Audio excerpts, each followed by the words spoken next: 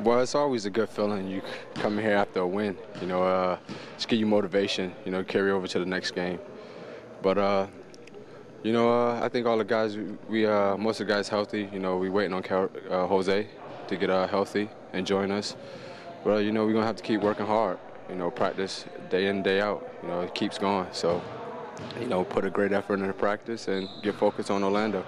You know, sometimes people can be more critical of their performance than other people. When you look back at that game in your head, what do you see about it? I mean, you got a double-double. What do you see about it that you really feel that you can take another step in?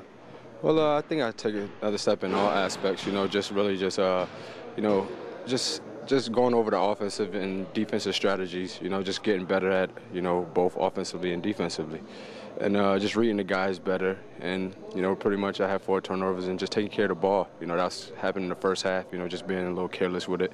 But you know, when you look into those things and you know, just make you work even more harder and uh, stay focused even more during the uh, 33 minutes I played. Now, Orlando, I mean, Jameer Nelson hurt the Raptors last year in the playoffs. Uh, what do you see about Jameer that you think that you can kind of neutralize or help your team with? Well, uh, you know, I, I, just want to stick by uh, what our coach wants, what, uh, what our concepts is, you know, by our game plan uh, defensively on Jameer Nelson. But, uh, you know, I think it's, you know, they have good guys, you know, good players, you know, as, uh, you know, Dwight Howard and uh, Hedo Turkoglu. So, you know, you have to stay focused on all five guys on the court and stay with our defensive game and, you know, slow them down. You know, we don't want them to, you know, come out big like last year. Do you expect to start tomorrow? I really, I don't know. You know, uh, I'm just going to be prepared for the minutes I do get out there and, you know, try to help the team, you know, go forward. But the way you played yesterday's got to give maybe yourself and the coaching staff more confidence. Putting you out there to start again and minutes. Well, uh, you know, I just want them to gain confidence in uh, me, and you know, I just want to feel comfortable just going out there and help the team. You know, just uh, getting better every day. You know, with practice, and you know, like I said yesterday, whatever you practice is going to carry over to the game. And if you practice perfect, hopefully you play perfect. You were able to uh, kind of pick the tempo of the game up a bit with your play.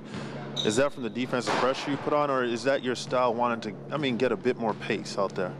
Well, you know, I think uh, the few games we, a few last, last last few games we started a little flat, you know, by uh, slowing up the ball. So I think by watching it from the bench aspects, you know, you know, get easy buckets, you know, get easy buckets, get guys going. You know, Andre got a few easy buckets, got them going early, and uh, you know, once you find the big guys in the paint early, it's it just make it easier for us, you know, make it easier for the other uh, three guys, you know, that's on the perimeter, you know, get get those guys off early and you know makes it easy. And then that gives you a chance to get your offense going when the ball's dumped inside and kicked out, and now you get good looks from the perimeter. Exactly. You know, you got two guys that uh, you know demand a double team, so you get those guys the ball. It makes everyone's job easier. My job, coach's job, and you know, make everyone happy.